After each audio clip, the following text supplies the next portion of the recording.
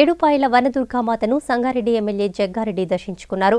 ఏటా అమ్మవారిని దర్శించుకునే జగ్గారెడ్డి ఈసారి కూడా ఏడుపాయలకు వచ్చి అమ్మవారి సన్నిధిలో ప్రత్యేక పూజలు చేశారు. త్వరలో అమ్మవారికి ఆభరణాలు కానుకగా సమర్పిస్తానని తెలిపారు. అనంతరం ఎమ్మెల్యేను ఆలయ ఈవో శ్రీనివాస్ ఘనంగా సన్మానించారు. జగ్గారెడ్డి రాకతో ఆయన అభిమానుల్లో సంతోషం వ్యక్తమైంది. మరి సంగారెడ్డిలో మరి శివరాత్రి రోజు అనేక మంది భక్తులు ఒక్క పొద్దులుంటూ మరి అక్కడ కూడా అనేక మంది ఒక్క రోజులు ఇచ్చే రోజు ఈ యొక్క శివరాత్రి రోజు. మంచి దినం మంచి దినం. ఈరోజు మరి ప్రతి సంవత్సరం కూడా నేను ఈ ఏడపాయల అమ్మవారి దుర్గమ్మ అమ్మ ఆశీర్వాదము దర్శనం కోసం రావడం జరుగుతుంది.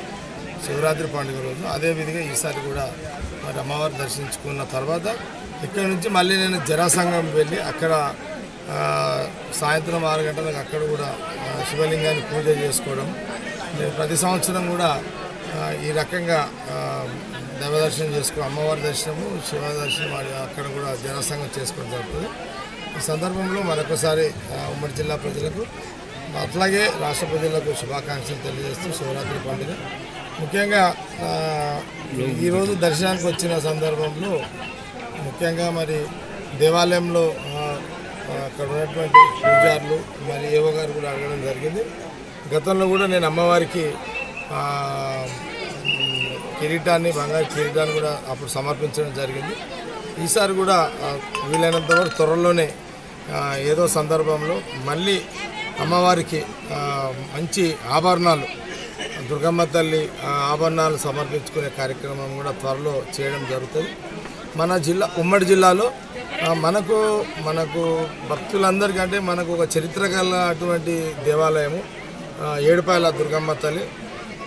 కాబట్టి ఈ ఒక కేవలము ఈ యొక్క మెదక్ జిల్లా ఉమ్మడి జిల్లా ప్రజలే భక్తులే కాకుండా రాష్ట్రంలో నలుమూలాల నుంచి హైదరాబాదు జంట నగరం కాకుండా ఇంకా అనేక జిల్లాల నుంచి శివరాత్రి నుంచి మొదలుకుంటే దాదాపు ఒక ఆరు రోజులు ఏడపాయల జాతరలో చాలా పెద్ద సంఖ్యలో వేల సంఖ్యలో భక్తులు వచ్చి దర్శనం చేసుకొని మరి మూడు నాలుగు రోజులు ఈ ప్రాంతంలో ఉండడం అనేది విశేషం.